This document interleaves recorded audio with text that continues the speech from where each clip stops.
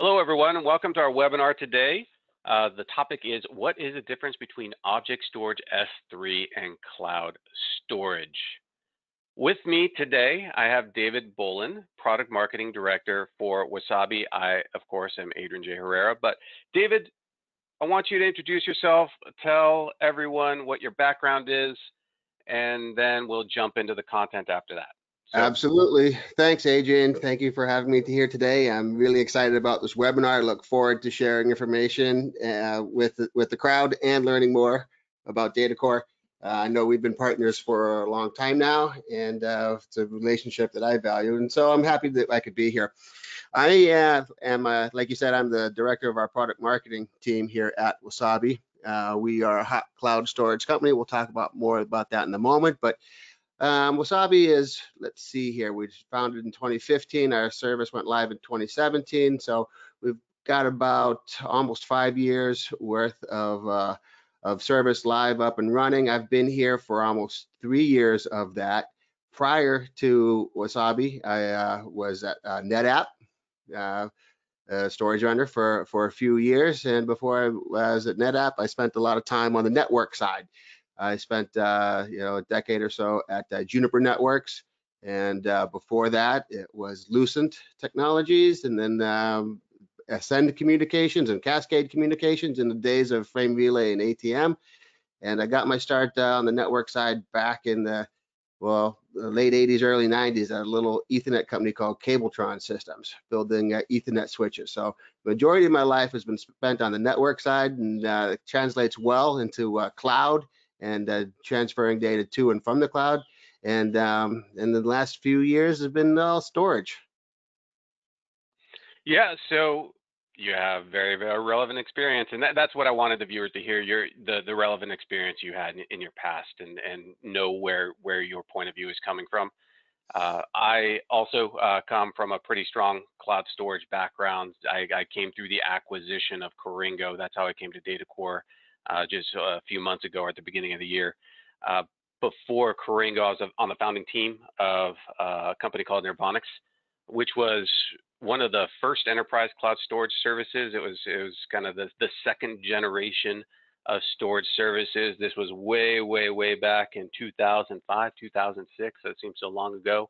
I remember and. Uh, yeah, yeah, yeah, and Absolutely. and uh, part of part. I was also part of um, uh, direct consumer cloud storage services and, and media organizations. Worked at Yahoo for a bit and come to call Music Match. So I come more from from the media and, and service side and then transitioned into enterprise storage. So I just wanted everyone to, to, to know where our experiences and where our point of views are coming from because this is a, a thought leadership series and, and being part of a thought leadership series you know, feel free to ask questions throughout the viewers. Feel, feel free to type in your questions. David and, and I like to have conversations through the webinars. We've done a few together. So it, it's okay if you have a question on a particular topic, just go ahead and, and type it into the chat window. And as always, David, feel free to ask me questions. I will ask you questions throughout. Uh, but you know, being being part of a thought leadership series, the the first in this series was going over object, file, and block storage architectures and interfaces, why interfaces don't always give you the value of the underlying architectures. One of the other things that we often see in the market is confusion between object storage, cloud storage, and the S3 protocol. And, and David, you and I have had you know conversation about this before. It seems so clear to us because we're so close to it. But uh, you know, people that I talk to are confused, and users and partners are confused, and I'm sure you you uh, experience the same thing. Every so, day, every yeah. day, you, I get asked uh, the difference between what's the S3 protocol, what's the S3 service, uh, what's the difference between the different types of cloud storage out there. So yeah, every day.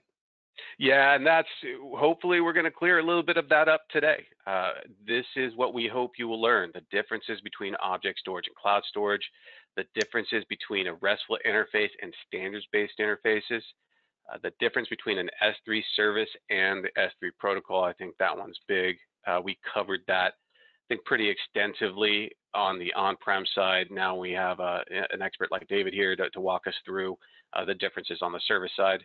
and then how to determine the right solution or service for your specific needs. So we'll go over a real light matrix uh, to help you with your uh, decision making to fulfill your requirements. And with that, let's uh, let's just jump right into it. We we wanted to set the stage here, just provide a, a real easy visual to show you the differences. You know, starting at the bottom there, there's object storage in that teal color. Uh, then you know, cloud storage almost every major cloud storage service runs on object storage, but there's a lot of value added services added to cloud storage, and, and we'll go over that. David will do a deep dive in that in his section. And then there's an interface, how you interface with the service, how you interface with the storage.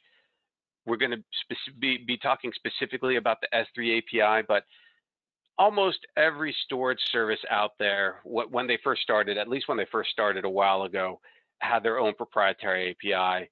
Then the S3 protocol, the S3 API started gaining in momentum and popularity, and a lot of service providers and, and even on-prem storage solutions just started supporting that from a native perspective.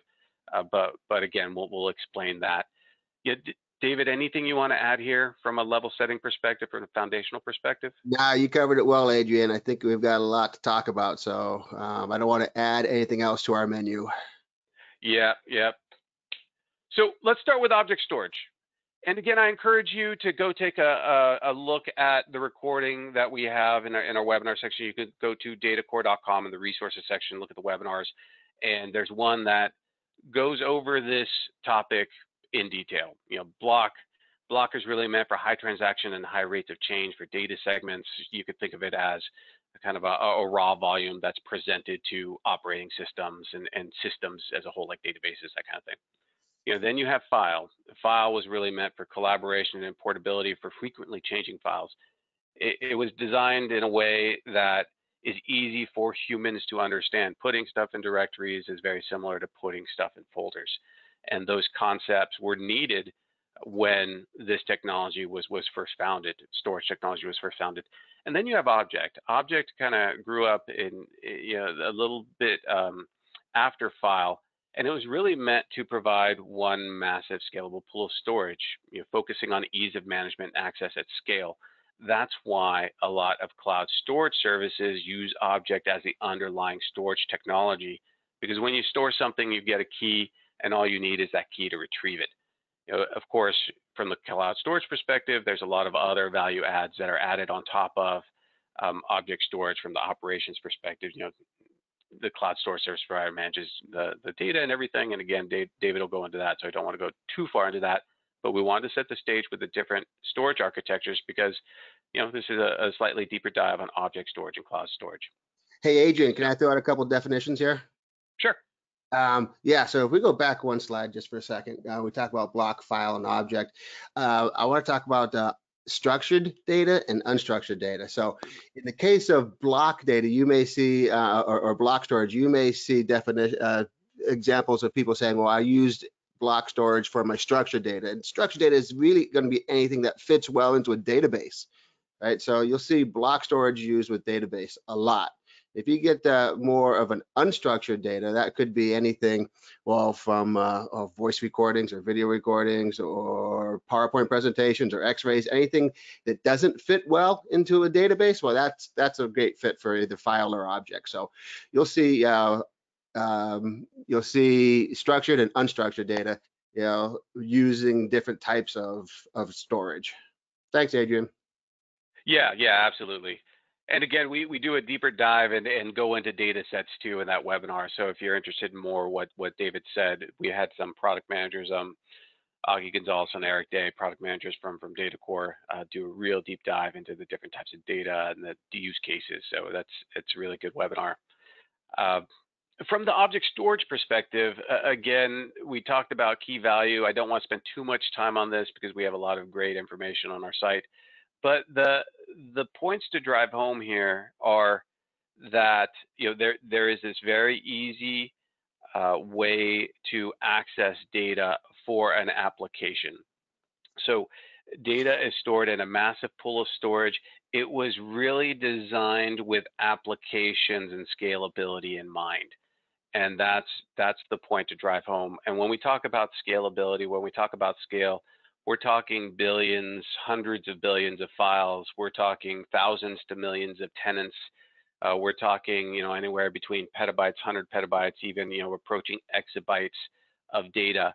So the, those are the kinds of scale that object storage was was designed to handle. And of course, you have the associated metadata with the object storage. So the data about the data. In the file system world, sure, you can have data about the data. Usually it's stored in an external database, but with, with a lot of object storage solutions, you, the metadata is just part of the object itself, at, at least uh, you know some of the best of breed solutions out there. Again, you know, if you're if you want more information on object storage, you can go take a look at datacore.com. But from a from a very high level, you know, here here's why users consider object storage. I, I put Swarm object storage because it, it's our product, but from from a from a very high level, when you take a look at why organizations purchase object storage and run it within their data center, it's really because they need to manage billions of files, petabytes of data, and thousands of tenants with limited staff. Uh, we we have a, a, number of different organizations that are really struggling with providing distributed access to content and data. And you can do that. And we'll show you why you can do that in a distributed way in a bit. Uh, often organizations require the scalability of cloud storage, but the data needs to remain on site. Uh, whether this is for some sort of you know regulation uh, or or you know some some you know privacy concern uh, if, if there's a requirement to keep data on site, maybe there isn't consistent or persistent, you know, bandwidth or high-speed bandwidth. You know, they need to keep that data on site within their own data center. Uh, or if if they have already an archiving solution, maybe they put something on tape, uh, but they they need to access that data now. I think you know one thing that uh, the recent occurrences in the world has showed us is that you just can't lock data up anymore. You can't put it in in a closet. You can't put it you know in in a vault and expect to be able to access it quickly. Uh, sometimes you won't be able to get to that vault. Sometimes you won't be able to get to that you know closet or wherever you have your archives. So you you, you really need to think about keeping that data online and accessible. And th those are really the, the primary reasons why organizations are using object storage today. David, I know this is an object storage slide, but but do you have anything to, to add there? Yeah, you know what? Uh, I just want to point out that uh, sometimes when we say that uh, there are billions of files or billions of objects, that's that's not marketing. That's the truth. Honestly, we've got customers that have uh, hundreds of millions and into the multiple billions of objects stored in, in different buckets. If you think about uh, your average object size, and everyone's object size or, or, file size is different, it all depends on what you do with them. Uh, if you have, uh, say, an average one megabyte size object in, in, that you're storing, one petabyte is a billion objects. So if you got two petabytes, three petabytes, you're looking at two, three billion objects that you have to manage and store like Adrian said, uh, nothing's better than do, at doing that than object storage. And uh, I'm a big fan of Swarm object storage for managing billions of, of objects and petabytes of data. Yeah, it's it's funny when you write billions, and it, it is hard to conceptualize billions. But you're you're you're right. I mean, we we have many customers storing you know tens of billions of files, and there's no reason that you know the solution can't store hundreds of billions to trillions of files. Yeah. Uh, I was just on call yesterday, and, and someone said, "Hey, we should put billions of billions." I'm like, "Well, we, we could put trillions, right? That, that's you're talking trillions there, but but that's the that's the scale that object storage can handle, and the reason it can handle that is because it doesn't have some of the limits of an underlying file system, and and you know again that it's it's a deeper dive in the architectures, and that you know there's a lot of good content out there if, if anyone's interested. Uh, if, if, anyone's interested, you could just, we're, we're going to put our email addresses at the end, uh, email addresses for the organizations where you can just go ahead and, and uh, email us for more information. So wanted to do a, a quick, a quick uh, use case for object storage, just to level set again, showing you how object storage is used.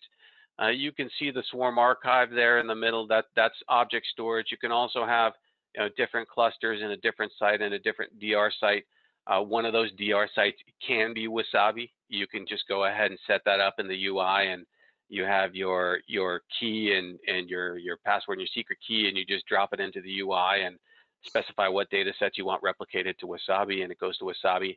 But here, uh, this is more for a media entertainment use case, but this could be any use case. That metadata controller or, or HSM could be a gateway. Uh, it could be a, a, NAS that that supports uh, the S3 API. Uh, it, it, really could be any, any, any data management application. That primary shared storage down there uh, could be, you know, of course, SANsymphony, know, another you know DataCore product. Uh, I guess I should point out that that metadata controller HSM could, could also be a vFilo. So there, there's a lot of different ways to architect solutions that utilize object storage. And of course, you can write directly to object storage if that application there on the left uh, just integrated the, the Swarm API or even the S3 protocol, it can write directly to the Swarm archive. And then you get the benefits of the scalability, you get the benefits of the automated management. You, know, you could provide internal archive access directly. So there is a content portal built into the Swarm archive users can just log in and only have access to the data sets that they want. Again, you can send a, a, data set up to Wasabi for disaster recovery purposes. If anything were to happen to that primary uh, swarm archive, or maybe even your, your other uh, disaster recovery site within your data center, you can recall that content back from Wasabi, uh, just kind of flip a switch and, and rebuild everything. So it, it, just makes it very easy, very flexible, and of course, the data is accessible. Eh, this is a tape replacement use case. There's lots of other use cases, but in the tape replacement use case, usually that, that data would have been stored on some form of tape archive to access that data. You needed to go get the tape, you needed to bring it back online, you needed to find the piece of content, uh, and then you know make sure it's accessible. Here in this world, content remains accessible. It's always on disk. Uh, you have metadata, so you can easily search for it. Uh, you you're you're always protected because you have you know your your disaster recovery site and and your your you know secondary or tertiary copy up on Wasabi. So again, there's a lot of different ways to utilize object storage, but you know, just wanted to give you an example of one use case and then do a deeper dive on actually it's it's one of our mutual customers, one that was Wasabi and uh, DataCore uh, both have as as a customer, and that's that's Kinetiq.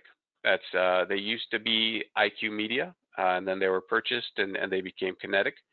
But uh, so Kinetiq, they they have a media intelligence platform. So what they do, they record shows and uh, they record commercials and organizations that are interested in how their brands are performing or how their message is performing in particular markets go to Kinetiq and they say, hey, you know, I want you to run this analysis in this specific region uh, to let me know how I'm doing. And uh, that means that they need to record and collect a lot of content, a lot of unstructured data, like David was talking about. And furthermore, they need to keep it accessible in perpetuity. So they are experts at recording and collecting data and at analyzing that data after the fact.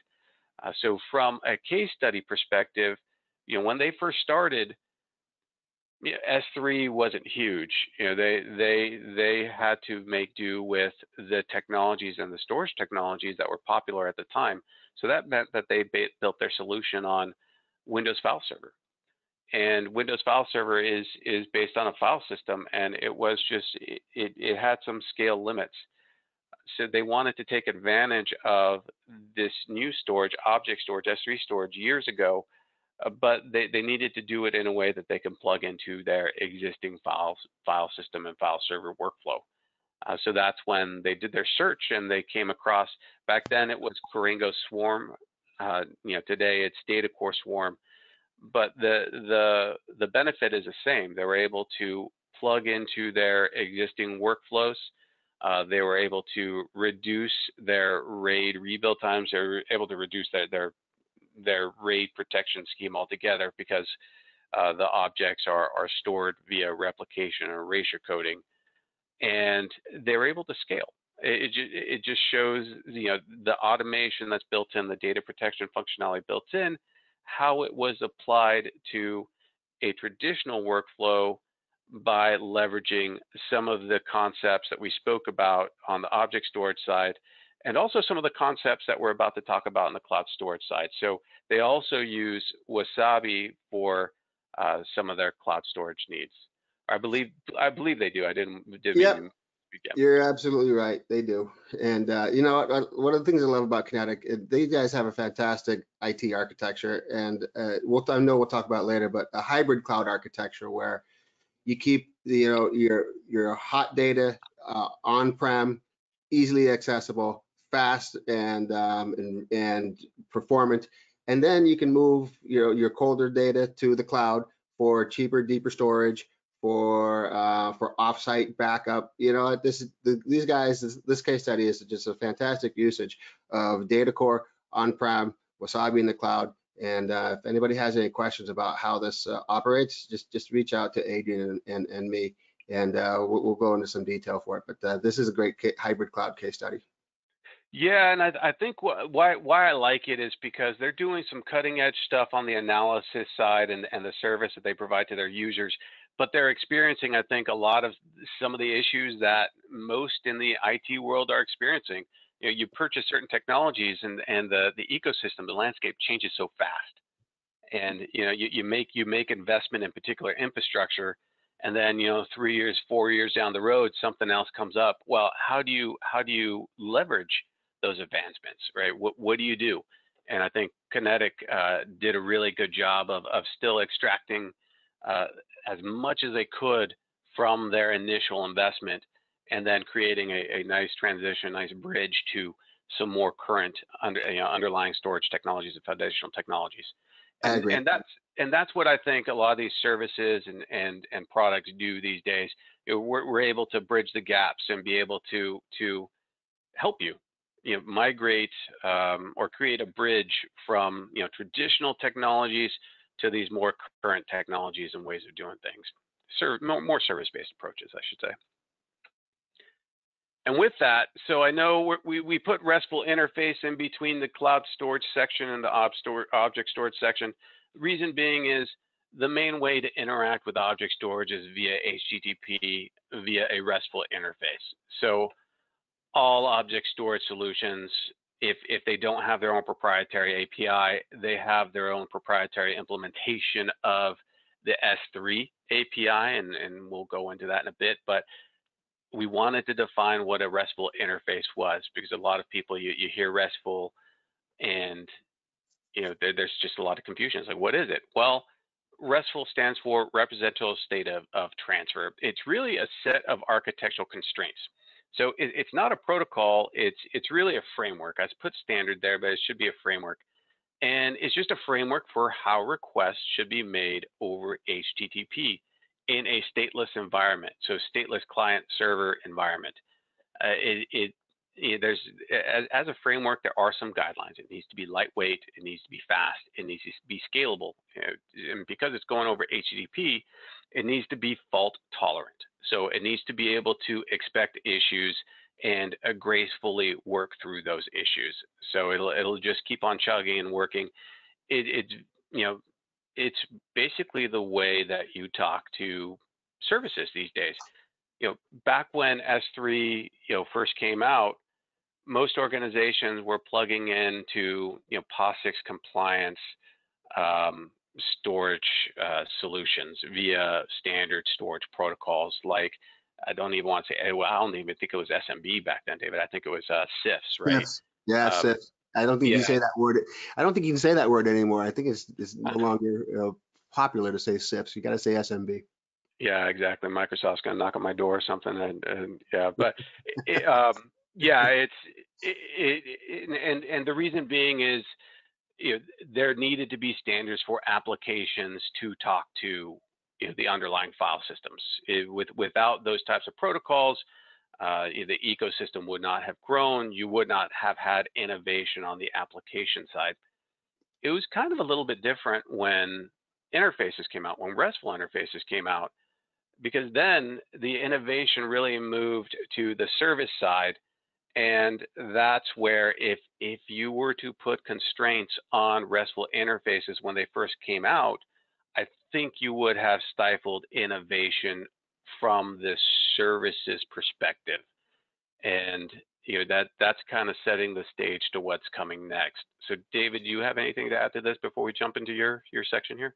No, you know what? This is uh you, you covered it pretty well. Um I, I just I, I sometimes like to make a um oh a, a little I guess a higher level um, metaphor for how an API works. For because I know that I, I, know some of the people that are attending today, and, and, they are not deeply technical, so they still may be confused or or con question about what actually the API does. I mean, you did a great job, Adrian, of explaining it, explaining it, but I'm gonna go a little bit higher and use this metaphor I've seen used a couple times in the past with regards to API. So um, uh, think of it as all right we're going to use a, a restaurant as a metaphor uh, for this and uh, you're in the process of ordering food at a restaurant. And when you're sitting at the table in a restaurant and you're given a menu of choices to order from well the kitchen is the system right? And uh, they'll prepare uh, what you order right but how that kitchen understands what you're going to pick from the menu is important and that's where the waiter comes into play and, and in this example, the waiter is the communicator. Uh, he, the waiter is the API actually, and and and he takes what you choose from the menu and tells the kitchen what needs to, to be prepared. And then the waiter takes it from the kitchen back to you and uh, at your table. And in this example, the kitchen is the uh, application that has things. The, the, the restaurant customer is the application that needs things and the menu is the list of API calls, the things you can that the kitchen can make for you or deliver to you. And the waiter is the programming interface that communicates back and forth between the the customer and the kitchen. So it's kind of a higher level overview or a metaphor of restaurant, but I find that it's helpful for people to better understand how an API works if you put food in front of them. Yeah, yeah, and you also made me hungry. So yeah. Uh, Sorry, Adrian. I know it's lunchtime for you over there. Yeah, definitely. It's breakfast time. It isn't even breakfast time yet, but oh, um, so it's uh so let let's let's jump into cloud storage. So we, we said object storage, uh, which is underlying you know architecture, storage technology. Uh, we talked about uh, uh the RESTful API, so just the the framework, uh, setting the stage for how you interface with both object storage solutions and cloud storage solutions. So now we're jumping into cloud storage. So with that, David, why don't you explain to us what, what cloud storage is? All right, this is uh, this is simple. Storage is storage for the most part. Where it sits and who owns it and operates it and manage it, manages it are two different things. So um, you could have block storage and file storage and object storage on-prem, like Adrian talked about, and in that first webinar, which was which was covered, or you could have it sitting in the cloud. Um, I'll use AWS as an example. They're the granddaddy of all cloud storage. They launched their service in 2006, and you know that was with originally S3 object storage.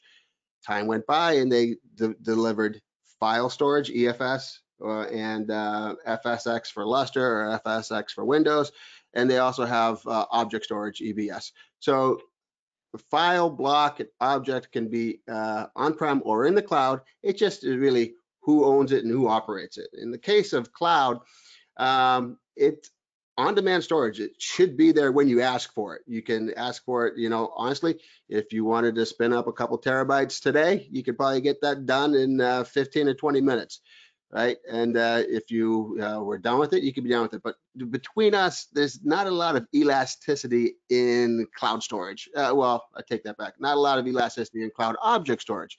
You, you pretty much know what you need and it's not going to deviate too much. It may grow, it may, you may delete some stuff over a period of time, but you don't really spin it up or spin it down like you would compute or block. Um, so, uh, so it's just there for you when you need it.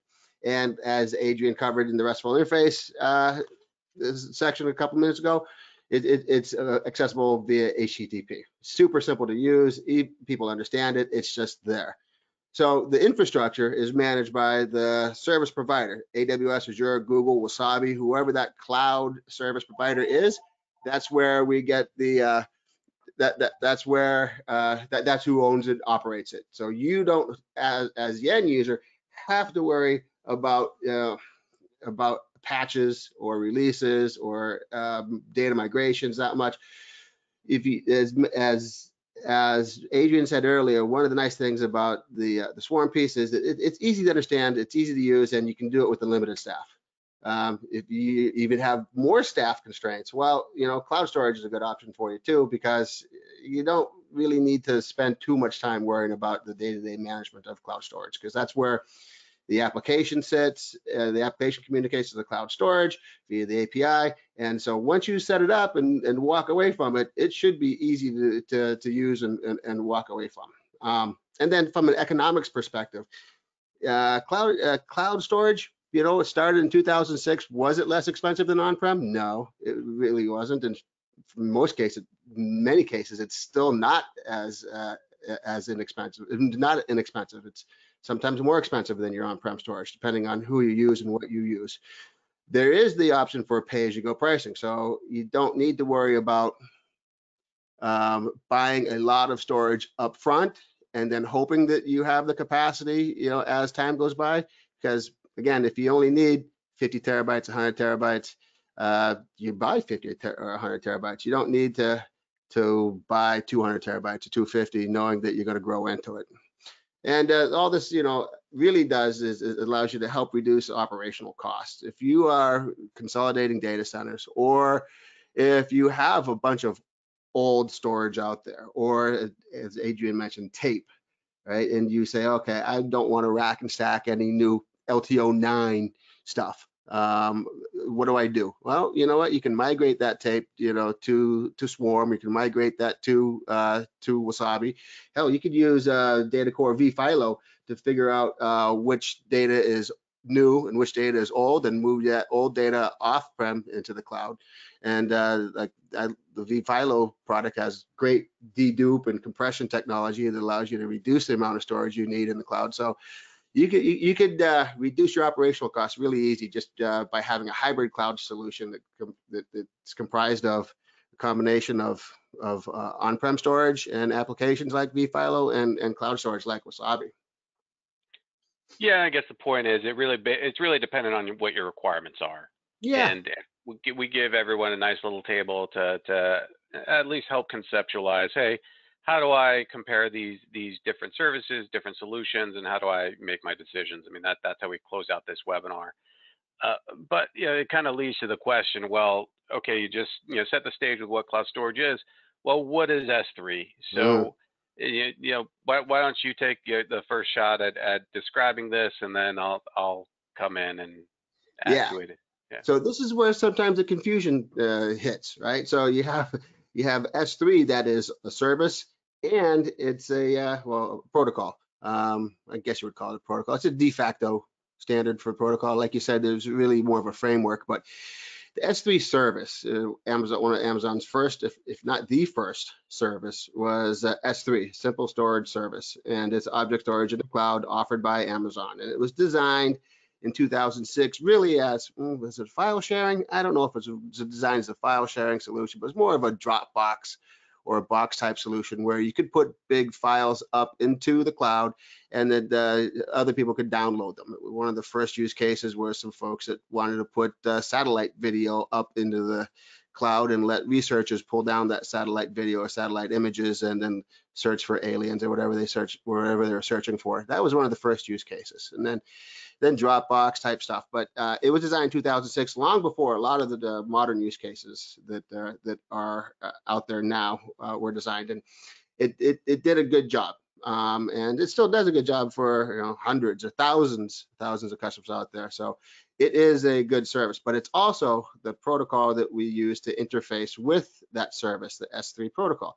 Uh, we'll get into this more in a moment but uh, if you are an independent software vendor, an ISV, let's say at the, your DataCore with the vFilo product, or your Veeam or Rubrik or Commvault, or on the surveillance side, maybe a Milestone, or anybody on the uh, media asset management uh, space in Hollywood, you have to decide if you are an independent software vendor, whose object storage you want to interface with, right? And the list of object storage you know, 10, 15 years ago was long right? You had AWS S3, you have IBM Object Storage, Azure, Google, NetApp, and EMC. Of course, you had Caringo, uh, Hitachi, Fujitsu, HP. You had all these different object storage vendors, and if you wanted to make your software work with all of these, at the, you had to write a different version of your software most of the time in order for your customers to use whatever storage they wanted to.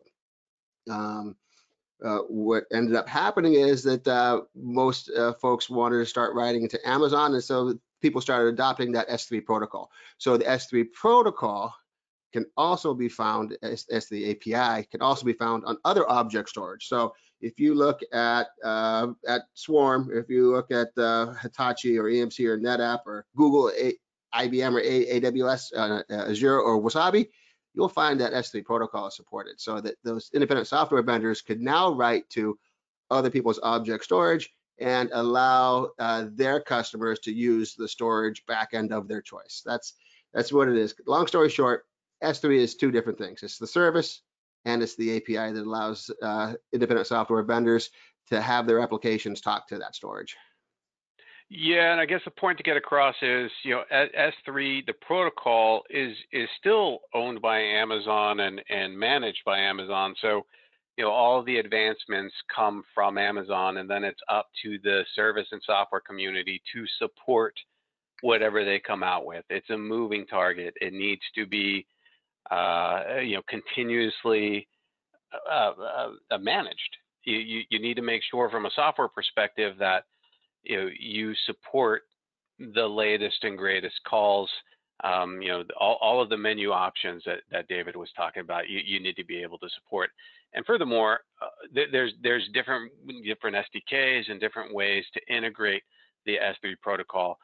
From from my perspective you know it, going back to 2006 you know before there was a standard I think Amazon did did the entire industry a great service by by spending a tremendous amount of money and effort uh, pushing uh, the, this type of standard, this type of protocol, uh, training the overall uh, IT ecosystem to, to really utilize REST interfaces. It, it, it, took a lot of effort, a lot of time, uh, and yeah, I, I, think it did the, the entire industry a service. Of course, there were other organizations involved, you know, Microsoft with Azure, and of course Oracle was there, and and then Google and, and others. But yeah, Amazon really was the first. But the point from to, I want to get across here is from the S3 protocol perspective, it, it is a moving target, uh, and and it is a de facto standard, but we use de facto for a reason, right? Hmm. It's um, you know it it can change it does change and just because some an application supports the s3 api it doesn't necessarily mean mean that it works with the s3 target. You you really have to test it and make sure your workflows uh, work and are operable. Usually there's just some minor tweaks that need to be done um, but you, you do need to go ahead and validate everything and make sure that it works from a workflow perspective. That brings us to deficiencies right? So, so what are the deficiencies to S3? So maybe I'll I'll I'll explain this one, David, and then you can jump in. Sure. Uh, so from from a protocol perspective, as David mentioned, it, it was designed to just be simple storage. It was designed as a ramp for other AWS services. So in 2006, uh, Amazon pretty much gave S3 away for free as they uh, tried to you know, push it into the market and, and train developers to use it for their archival storage for their applications on the back end that's how they went to market. They, they really focused on a grassroots campaign where they went and they showed developers how to use it, how to put a little link and then access it via a URL. So it was really designed to be a ramp to other AWS services. Uh, it relies on the ecosystem for apps, for content management search. So because it's simple, the ecosystem is is where the intelligence is. So it, it's a very very light uh, menu of options. You, you, you, have your calls, your puts, your gets, uh, different versions. You do have object locking. So, you know, it, it, is moving, you know, the intelligence is being increased, but for the most part, it, it it's a relatively simple API, relatively limited set of, of API calls. Uh, it was designed for granular data durability and replication options, or it wasn't designed with granular data durability and replication options in mind. So again, it, it was pretty simple. You store something and then, you know, Amazon service and the way that they have architected their service uh, determines how things are protected and stored. They have lots of different tiers. And I think David, you'll you'll you'll talk about this in a bit because you know Wasabi also has their their advantages there and how you protect data on the back end and how you expose those costs to users. You know, if if it's costing Amazon something, you are being charged for it, right? So I think that's that's the point to get across here. As as you go higher up on the functionality and, and the feature set perspective, you know, you, you are getting charged more um, from the S3 and, and the, uh, the AWS side. And uh, of course, you know, that, that kind of leads into what's going on, on the service side. It, it's, you know, leads to a relatively expensive, um, a relatively expensive service, right? And, and it is difficult to forecast costs. And this is a, a good segue into um, you know some of what Wasabi's done. So any, anything to add here, David, to this slide? Yeah. No, you know what? I, you did a great job covering the protocols and features. Um, I'll talk more about the, the service expenses and the difficulty of it is of forecasting costs for sure. Um, let's just jump right into it. Let's just go right to the hidden cost slide there, Adrian, and uh, we'll talk about this. So the life world was different in 2006, right? I mean, uh, I, am I'm old enough. I'm, I'm sure that some of the folks that are listening today um, probably don't remember dial-up modems or uh, ADSL, uh, you know, or the difficulty in getting network connections to to to uh, the internet but uh, everything was expensive. Uh, every time you cranked a CPU in order to do something that you, you know, in the cloud, you were charged for it. Every time you wanted to use any kind of network bandwidth, you were charged for it. And so the architecture in the first generation cloud storage service providers like AWS or IBM or, or even Azure, uh, they charge their customers for every possible thing that they do. Think of it, let's go back to the original, um, my, my original metaphor in the restaurant. Right? If you are the application, you're sitting at your table and you're given the menu by the waiter and you ask for uh, a glass of water. The act of the waiter walking to the water station and bringing back a glass of water, that the act of him walking back with that costs you money. If you ask for a knife, or a fork, or a spoon and a napkin, the the act of asking for that is going to cost you, you know, a few pennies here, a few pennies there. If you say, "Oh, I dropped my spoon. I'd like to have a new one, clean one, please," that act of asking for one is going to cost you a few pennies. So every time you have an API request in AWS, Azure, Google, anybody else in the first generation clouds, the API request is going to cost the customer money. And those requests on that menu could be your API puts or your API gets, your lists, your heads inventory operations. If, uh, if, if you ask the waiter, well, what, what's the special today, and the, he has to go to the kitchen and ask the chef what the special is, that the ask of of that of what the specials are, well, that's going to cost you as well too. So inventory operations are all part of the, your cloud service bill from AWS. If you have a small object, okay, and some, we'll talk about tiers in a moment, but you have different tiers in these cloud storage architectures like AWS. You have your standard, your infrequent access, infrequent access one zone, Glacier, Deep Archive, yada, yada, yada. Uh, if you are in infrequent access, for example, and you have objects that are smaller than 128K in, in object size, they're gonna uh, they're gonna charge you a minimum object size of 128k. So your 64k objects, will be charged will be charged 128k prices. So there's a small object tax. That's like asking, you know, ordering a, a, a side salad, you know, or a small plate, you know, and and getting charged a surtax because it's not taking up the full plate, right?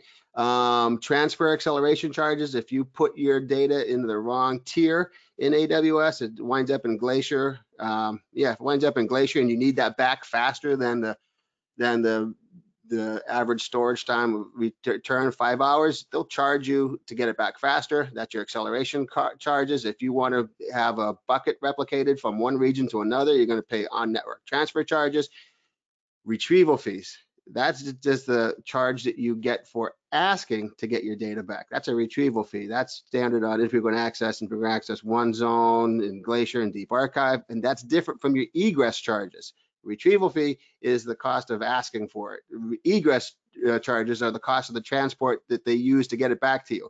And again, if you wind up in the deep archive or glacier, every object you have in there, and uh, let's go back to our petabyte example again. If you have a billion objects in in Glacier or Deep Archive. That's uh, uh that's a, a billion objects. You're gonna each one of those objects has a object overhead charge associated with it because they add metadata to that object so that they can find it when you ask for it later. So they're charging you the, the for the ability for them to find that data when they go to look for it if you ask for it back. So there's all these overhead charges, there's egress fees and API charges. All of these things are on top of the visible monthly charge of $23 a terabyte for AWS standard or or 1250 for infrequent access or four bucks for Glacier. Um, and all of these hidden charges make it impossible, impossible to predict what your cost is going to be at the end of the month. It's never the same because you're always going to have different egress charges, different API request charges, different uh, uh, object overhead charges. That monthly storage charge is always going to be different in the case of AWS, Azure, or Google. Right, so, uh, so this is an architecture that was possibly worked well back in 2006 or 2010, um, but it, it's no longer a viable architecture for many customers these days because they don't want to be hit with the mystery charges every month, and they're tired of getting nickel and dime. So, in the case of Wasabi, we've done away with that. Wasabi is different than AWS, Azure, Google. Uh, we have a different architecture. Adrian, let's jump ahead to one more slide. So, Yep. Why is Wasabi different? Right. So it's cloud storage, just like AWS, Azure, Google, or IBM. Uh, the difference is we don't charge for egress fees. We don't charge egress fees for you get your data back. We don't charge our customers for the API requests uh, to to you look at your at your menu at your table and you say, "Oh, I would like to uh, have uh, this we're not going to charge you for for for uh, for requests we're not going to charge you for uh, any kind of overhead charge or on net transfer charge or anything like that we don't have uh, charges other than straight up storage five dollars and 99 five dollars and 99 cents per terabyte per month that's all it is so if you know that you've got a hundred terabytes of uh, storage per month you know it's 599 dollars at the end of the month you know, multiply that by 12 and you know exactly what your year costs are going to be for forecasting your, your, your, cloud storage bill. It's simple to use, easy to understand, no hidden charges. That's what makes Wasabi different. Also, what makes us different is there are no complex tiers.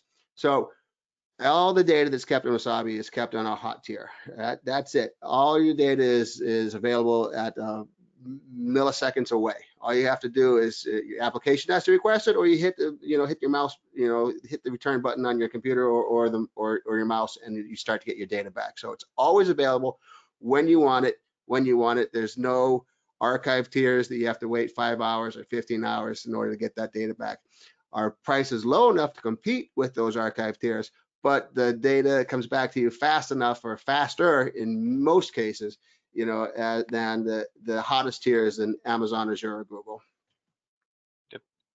Then we'll talk about performance, just doing a quick time check, David. We have about 10 minutes. All right. But um, yeah, I mean, uh, yeah, the, talk, talk, talk about performance. And, and of course, I mean, just, just to confirm again, you guys are using object storage at your core, correct? Yeah, we use object storage at the core. I mean, that's our file system. Uh, it, it, doesn't really matter to uh, the end user what the file system is. Um, you know, it, it, matters to the application that's sending the data to Wasabi.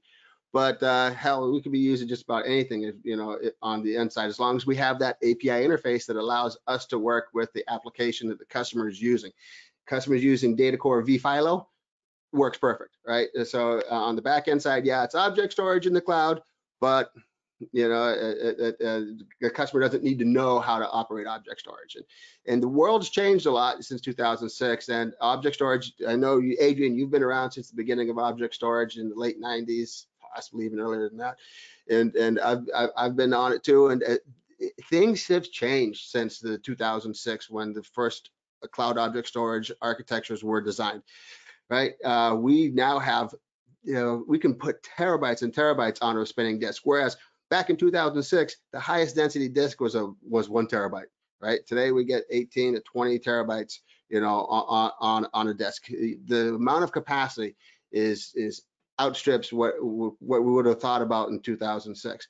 Um, Wasabi's performance is based on just a, a, a leading hardware technology that we we've designed, and we use a, a proprietary uh, operating system and file system that allows us to be really efficient in how we manage our, the data and disk space and drive down cost to pass those cost savings on to the customer.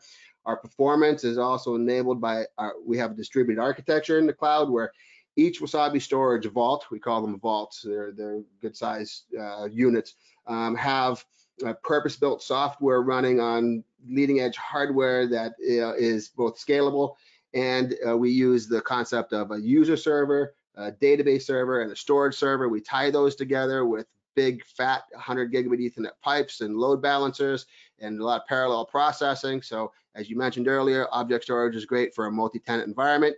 Bingo, cloud is a multi-tenant environment and we just have fantastic performance. And we have uh, tests that show our write performance and read performance versus AWS. And, you know, depending on object size and the number of cores you're using to write to the cloud, uh, we're going to beat uh, AWS S3, which is their, their, their most fastest performing storage service.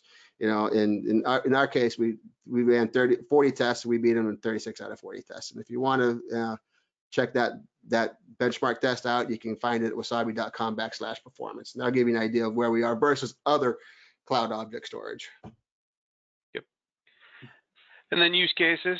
I think we, we we talked about a lot of these things as as we were having our discussion. But are there are there any you want to point out here? You know what? Backup and recovery is really a fantastic fit for cloud storage. Backup recovery and archiving, right? Um, if it's really high performance, you know, and you need uh, you're all you're reading and writing and pulling stuff in and out of uh, of uh, storage like uh, like uh, your Swarm, keep that on-prem. Keep that Swarm piece on-prem. But if you have you know, a backup and, and recovery need, you put stuff offsite, or maybe it's uh, it's for um, for remote access for people who work from home. Uh, you know what? You can use use the cloud. Tape to cloud works well. Archiving works well. We see more people using global file sharing. We see a lot of interest in storing video surveillance footage in the cloud. So the number of use cases uh, are growing uh, on a weekly basis, really, uh, for cloud object storage. It wasn't that case 10 years ago. Uh, now we're just doing all kinds of crazy things uh, with cloud object storage.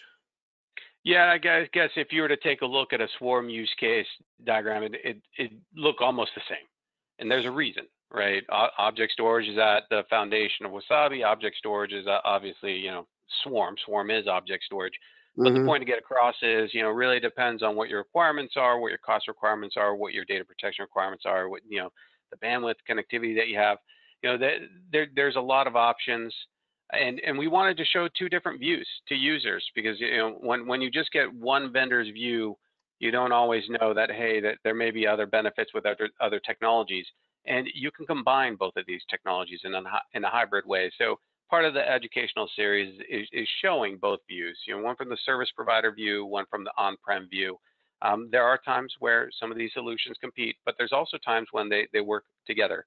And when, when you we're getting to a scale from a data perspective where you really need them to work together, you need your cloud storage service, you need your on-prem storage to work together because data sets are getting so big that they're they're difficult to move quickly. Yep, exactly. You're exactly right, um, and that's one of the reasons why uh, the Legendary Entertainment. I'll just touch on it real quickly. Legendary Entertainment is a Wasabi customer. Uh, they were use, uh, looking at Wasabi for um, for the use cases backup, uh, archive, and remote collaboration. Uh, their challenge was that they needed to reduce the on-prem footprint, uh, and they wanted to eliminate some storage silos. They had tape, they had different spinning disks, they had SSD out there just a bunch of different silos. And they said, hey, we need to figure out a way to uh, reduce our footprint, save some money. And uh, additionally, they also had a lot of uh, video uh, footage uh, in other clouds. And they wanted to lower that uh, cloud storage expense and eliminate egress fees and those hidden costs I talked about a moment ago. So they looked around, they tested Wasabi. They said, hey, this works well. Um, so so they they we, we started uh, storing their video footage and their backup and archive and business uh, data you know for the last couple years um, one of the important things for these guys was our support for that S3 API interface that allowed their existing S3 API applications to work with Wasabi. And uh, so on the media asset management side, Covalent was a media asset management package that they use and it was important that we support that, which of course we do. And then uh, Adobe Premiere Pro, right? So, uh, you know, you have a remote work in the times of COVID, people working from home, and there's a work from home mandate. And how do you do that with people working from home? You have to support that uh, Adobe Premiere Pro interface. And uh, so we did. Uh, next slide for me, Adrian. I'm gonna know we're running short on time, so I'm gonna yeah, try to wrap this up. Yeah. So, uh, right. So as, as, as Adrian mentioned before, right, yeah, S3 uh, API compliant applications, these, you know, need to work with S3 API compliant object storage, right? So if you have a, a, a independent software vendor or a piece of software that you're using today that uh, you want to make sure that it works with Wasabi, don't worry about it because AWS, uh, Wasabi is AWS S3 compliant. Uh, everything that is from our identity and access management is uh, the same as uh, AWS itself. So um, if you have um, Adobe Premiere Pro or Covalent or DataCore vFilo or Milestone on the video management software for for surveillance world, or you have Nasuni for or Panzura for global file sharing. Because these guys work with AWS S3, they're going to work with Wasabi. They're going to work with uh, uh, with DataCore uh, Swarm. Um, that, that, this is the important piece of AWS S3 compatibility. This is yep. it. Yeah. And then, so let's let's. I mean, we will we'll we'll close it on this slide. We we have a thank you slide. Let me just show you the, those emails really fast. Sales at wasabi.com and info at datacore.com. But I know we're we're approaching the hour here. We can go a few minutes over. If people have questions, feel free to ask your questions now if you have them. Uh, but we'll, we'll, talk about this. You know, how how do you choose the the, the solution for for your requirements? Uh, and you know, we we talked about this throughout the whole webinar. But you know, I'll focus on the object storage side. You could focus on the cloud storage side, David. But you know, from a capacity perspective, you know, as, as David mentions on the service side, you know, it's, it's, very easy to get started with Wasabi and other services. So if anything under 100 terabytes, you know, you should really consider cloud storage. It's very easy to get set up. You put down your credit card, you can start storing.